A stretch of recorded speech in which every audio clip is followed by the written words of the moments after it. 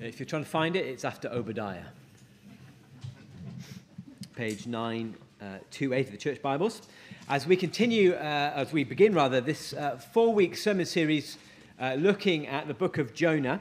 Um, the book of Jonah, the story of Jonah, is perhaps uh, one of the most famous stories in the whole Bible.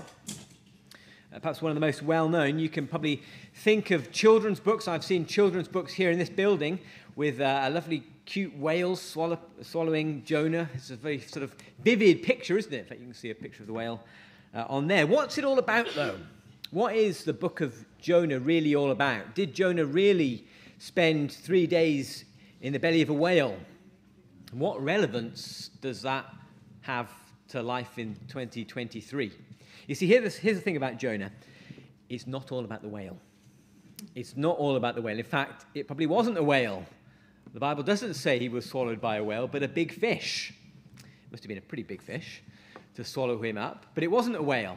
In fact, the, the fish or the whale is not the main point of the book. It's perhaps the most vivid part, perhaps the most famous bit, but it's not the main thing of the book.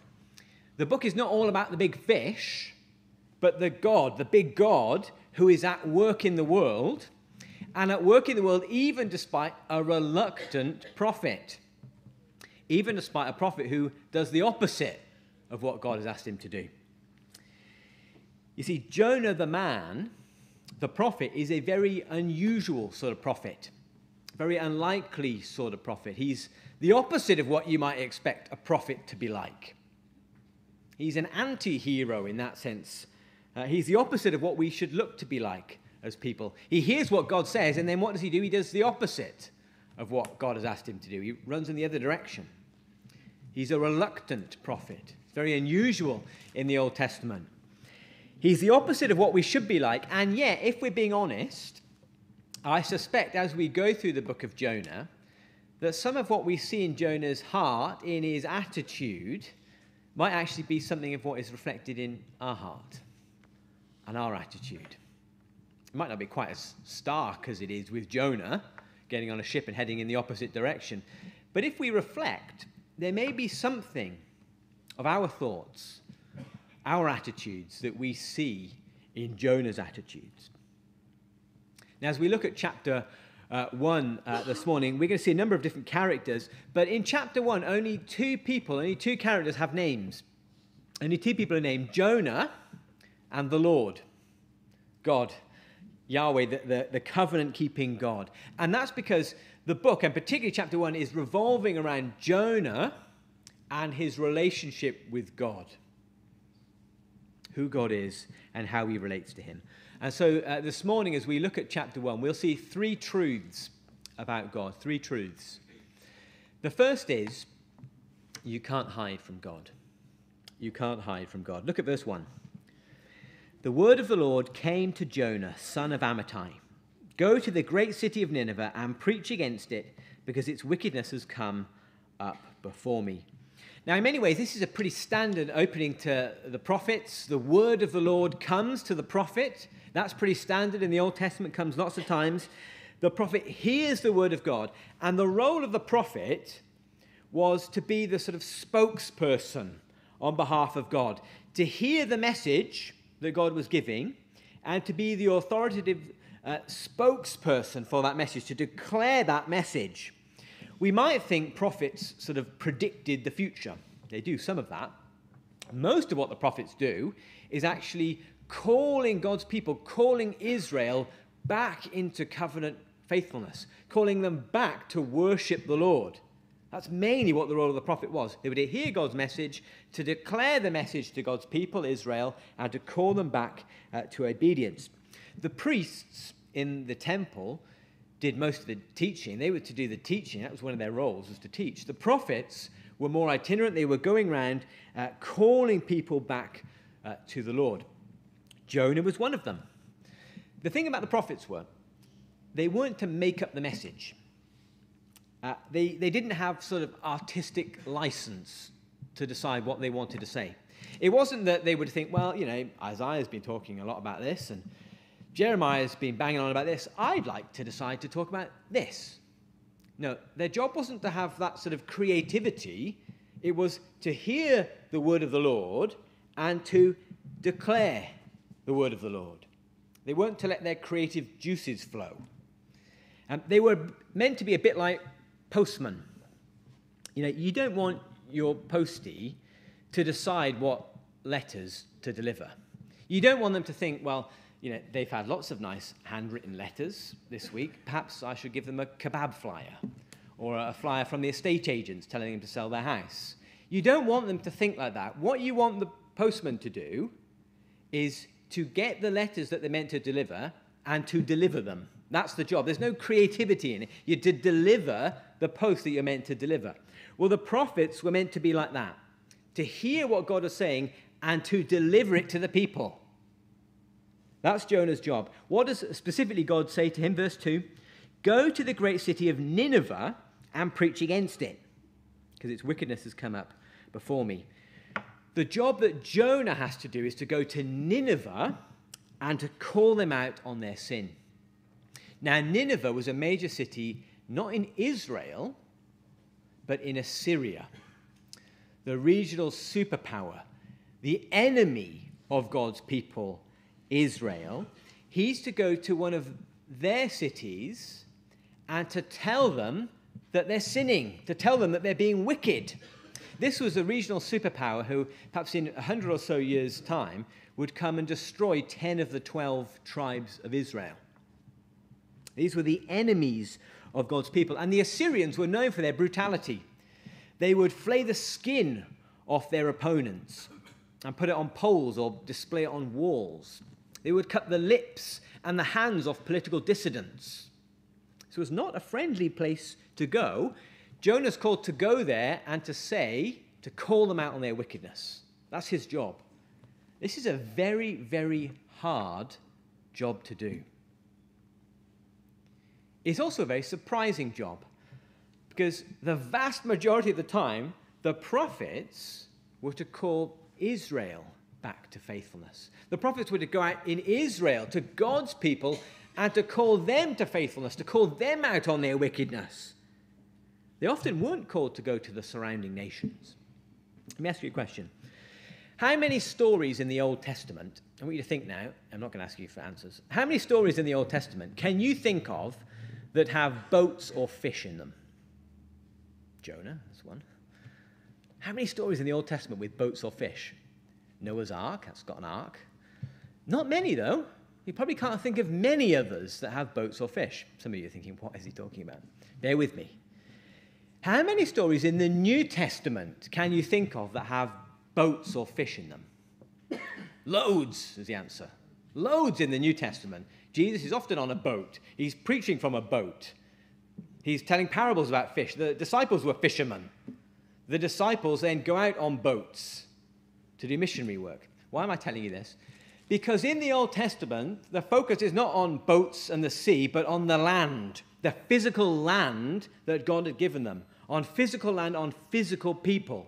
The New Testament is much more going out to the nations, traveling on boats, taking the message of God out to different nations. But in the Old Testament, it's much more focused on a particular land, a particular people. What Jonah is doing is rare. It's unusual in the Old Testament. In some sense, it's a foretaste of the New Testament. It's a foretaste when God's people are called to take the message out to the rest of the world. But it reminds us, even in the Old Testament, God's eyes are not just on one particular piece of land, not just on one particular group of people, but on all people. It reminds us you can't hide from God. The nations are always in his sight, always in his view, always accountable. God knows all things, all people, in all countries at all times. Whether that's you're an Old Testament Israelite, whether that's you're a Ninevite or a 21st century Swindonian. Whoever you are, wherever you live, God knows. God knows what's happening, even the things happening in secret. There's no way that we can ever think, well, God doesn't really know what's going on in my life. He's not that bothered what's going on in my life, what I'm doing. When you think of all that's happening in the world, is God really bothered about the things that I get up to? My mistakes, my shortcomings? Well, this passage says, no, God sees everything. He sees even the Ninevites, even the people in that country. God sees all. Your way is never hidden from him. Every country, every person, in every place. Everybody is accountable to God. That's good news because it means around the world dictators will be held accountable before God. It means that every criminal who escapes justice in this life will not escape justice in the end because everyone is accountable to God. That is very good news, particularly if you are the victim of abuse, if you are the victim of crime. It's good news that everybody is accountable. But it's also very bad news that everybody is accountable because it means that everybody is accountable. Every single one of us. When we've not loved God as we ought to, or when we haven't loved the people around us, our neighbor, as we ought to. When we break God's moral law, even in our heart attitudes. Jonah 1 reminds us no matter who we are, no matter where we live, God sees. He holds people accountable. It's a sober reminder this morning. Can't hide from God. That's the first truth. The second truth is you can't run from God, although Jonah tries. Let's have a look. Verse 3 But Jonah ran away from the Lord and headed for Tarshish. He went down to Joppa, where he found a ship bound for that port. After paying the fare, he went aboard and sailed for Tarshish to flee from the Lord. Uh, Jonah hears the commission and he does a runner. Tarshish is probably in Spain. So instead of going up to Assyria, he heads in the complete opposite direction, west to Spain, basically as far away as you could possibly imagine to be. He heads in the complete opposite direction of what God has told him to be, to go. That is the opposite of what you might expect a prophet to do. You would expect the prophet to hear God's word and to act upon it, to be obedient. Jonah does the opposite. He tries to run from God. Now, prophets don't normally behave like that. Jonah doesn't normally behave like that.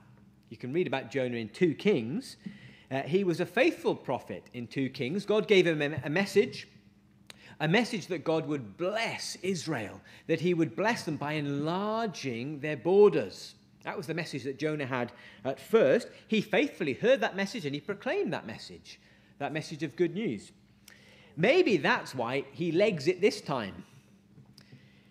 Because previously he's proclaimed good news to Israel, and now he knows he's got to go to Israel's enemy, and maybe they're going to get good news.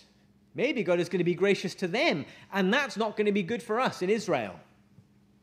Maybe that's why he did a runner.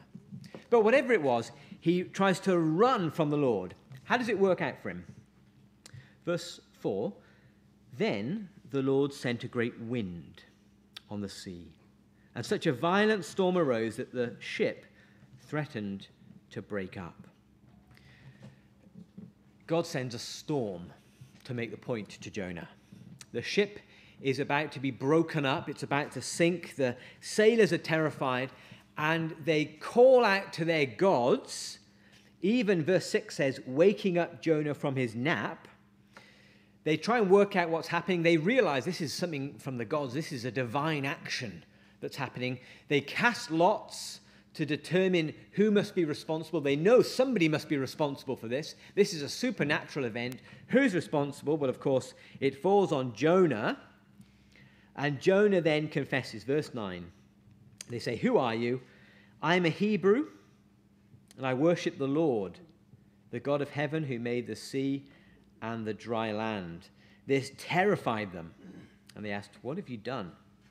They knew that he was running away from the Lord because he'd already told them so. Um, Jonah is, of course, correct in verse 9. Um, what he says is true. He is a Hebrew. he worships the Lord. He is correct theologically in what he says about God, who made the heavens and the dry land. God makes the world. He gives information which is true. It's factually true information that the prophet is giving, but that information doesn't really seem to have changed Jonah very much. He knows what is right about God, and yet what is right about God, it doesn't seem to have affected him, doesn't seem to have rubbed off on him or changed him anyway. You know, they say that relationships change people, don't they? If you've been married to uh, someone for any length of time, you know that that's true. Becca now refers to Man United as we. I have now learned the names of one or two flowers growing in the garden. Relationships change people.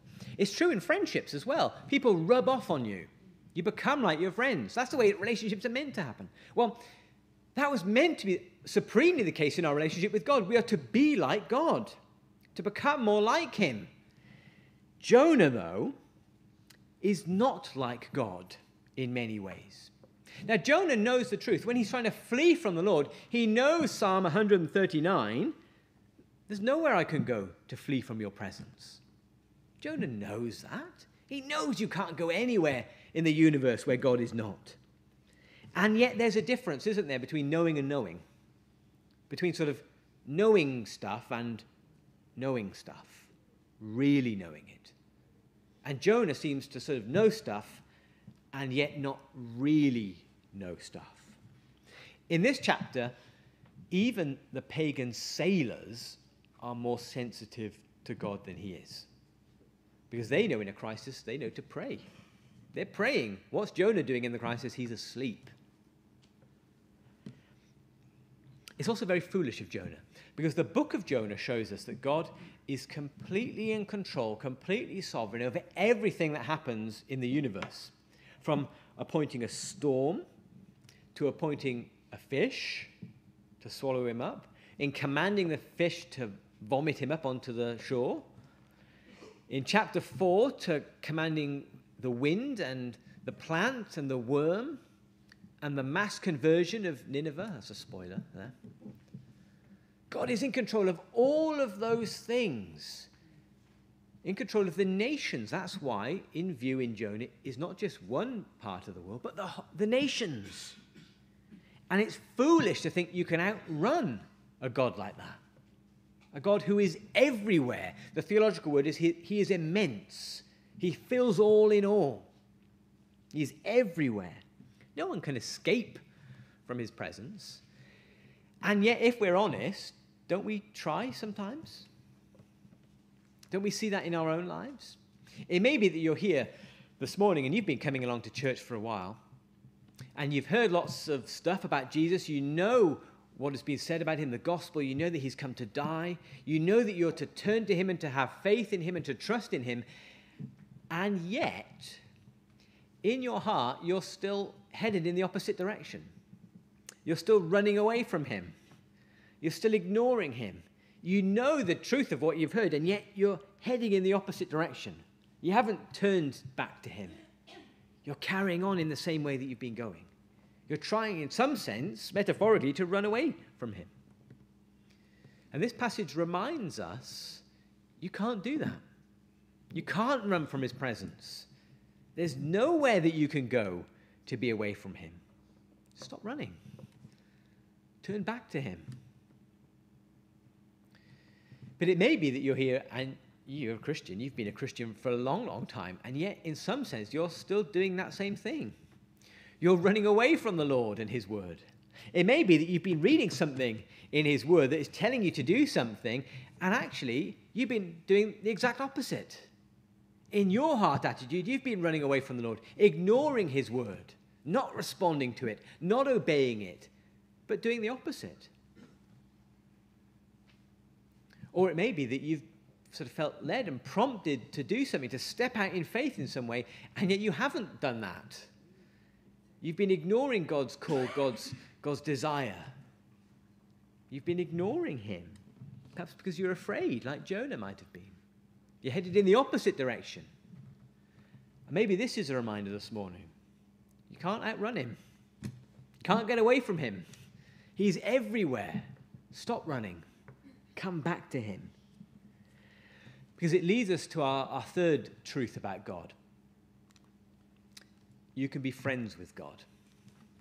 You can be friends with God. You see, the chapter ends with a real surprise. Because the chapter ends with God's prophet slowly sinking to the bottom of the ocean, slowly drifting down, thrown overboard, about to die. He doesn't, he doesn't die. See you next week. Got to come back see what happens. He doesn't die, but the chapter ends, our passage ends with him floating down, and it ends in contrast to that. These sailors, these polytheistic sailors who have no background worshipping the one true God, they come to trust in the Lord. They come to salvation. They come to know him and to worship him. They become right with God. They become friends with God, while Jonah, who didn't want the non Israelites to be saved, is floating down to the bottom of the ocean. There's some irony in that. The people that Jonah didn't want to be saved have actually become saved. This is a reversal of fortunes. How did it happen? How did they become saved? Well, verse 12 says, Jonah is speaking, Pick me up and throw me into the sea, he replied. It will become calm. I know that this is my fault, and this great storm uh, has come upon you. Uh, everyone knows what's happened. The storm has come because of Jonah. Jonah says, Throw me into the sea, get rid of me. Now, initially, they're hesitant to do that. They know that murder is wrong. They know that they shouldn't do that, but it becomes clear that that really is what they have to do. Verse 15 Then they took Jonah and threw him overboard, and the raging sea grew calm. At this, the men greatly feared the Lord, and they offered a sacrifice to the Lord and made vows uh, to him. They fear the Lord, it says, verse 16. They come into relationship with him, they come to know who he is, they come to experience his awesome majesty, his power, his authority, his glory. They, they come into relationship with him. They're saved. They're made right with him now. The storm has passed. And it happened because Jonah was thrown into the sea. It happened because Jonah was thrown overboard. Salvation only came in this chapter because someone had to plunge down into the depths before he rises again. Jonah has to perish in their place if they are to be saved. And we can only be friends with God. We can only be right with God if Jesus perishes in our place for us. Jesus has come into this world to go overboard, as it were, to give himself for us so that we can receive salvation, so that we can be saved, so that the storm of God's anger at our sin can be calmed. Jonah was a reluctant prophet. He reluctantly went into the sea. He didn't do what God called him to. But Jesus willingly does. Jesus willingly heard his Father's command, his call. He came into this world and he willingly gave himself for us. When Jonah was disobedient, Jesus was obedient. Jesus went to a hard place with a message from God willingly, with a message that our wickedness had come up before God. And he willingly gave himself in our place so that we could be saved. He's given himself on the cross. He's poured himself out so that we can be friends with God. We can't run from God. We can't hide from Him. And yet, because of what Christ has done, we can be friends with God. We can come to know Him and be loved by Him because Christ has given Himself for us. And it may be this morning that you're a bit like the sailors. You've got no church background whatsoever. Perhaps you've been uh, looking for hope and satisfaction and meaning in all sorts of things, in all sorts of gods. Your life might seem like it's far away from God, and yet these sailors came to know and to trust the one true God. They came to be saved, and you can too. All of your wrongdoing, even though it has come up before God, can be forgiven because Jesus has come and given his life in your place. He's done everything. All you need to do is to stop running and to turn to him. Let's uh, pray and then we'll sing. Father, we thank you that you know all, you know what is in our hearts, and yet you love us. You've given your Son Jesus. Thank you that he has died in our place, and thank you that we can come to know you this morning, to be known by you, all because of what Christ has done. We pray for those uh, here this morning who perhaps in their hearts are running away from you perhaps doing the opposite of what they know you have called them to do. We particularly pray for those who, as yet, have not put their trust in Jesus, have not come uh, into relationship with you. We pray that now you'd be working in their hearts. Help them to return back to you. We pray that they would know that you are a God who is kind and merciful and loving and caring, who always receives us back, no matter how long we've been running. We thank you that our hope truly is in Jesus. Amen.